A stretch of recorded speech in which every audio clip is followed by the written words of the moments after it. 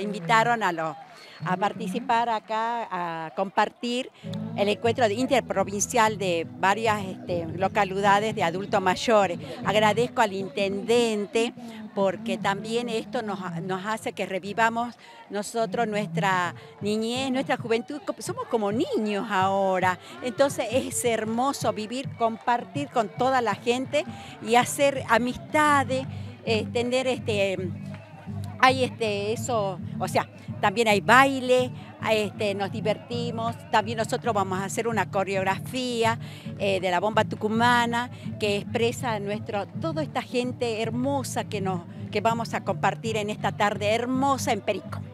Esta fiesta, el primer encuentro de adultos mayores en la ciudad de Perico, nos trajo a compartir. Ya hicimos distintos juegos, eh, como Con Sapo, eh, Yenga, y ahora nos toca la parte de baile. Contenta porque siempre la municipalidad nos apoya en estos eventos que son para los adultos. Vinimos a, compartir y a participar del primer encuentro del adulto mayor.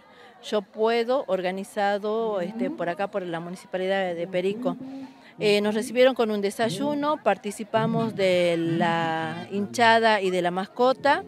Después en Newcon se salió en primer lugar se ganó, se ganó la categoría de Newcon, también se ganó en, en Yenga, en las dos categorías de Yenga eh, vinieron 96 adultos mayores. Ellos la están pasando bien, están contentos. Eh, les encanta participar de este tipo de eventos, eh, salir y compartir con otros adultos mayores de otros departamentos y de otras localidades. muy lindo porque nos hace bien, nos hace re bien, nos fortalece, nos rejuvenece y esperamos que siga así estos eventos, que el intendente siempre nos tenga presente y vamos por más. Conocemos mucha gente, la verdad que se comparte, eh, somos una familia, una familia que, quedamos todos, nos ayudamos todos, es muy lindo, la pasamos de 10, re lindo.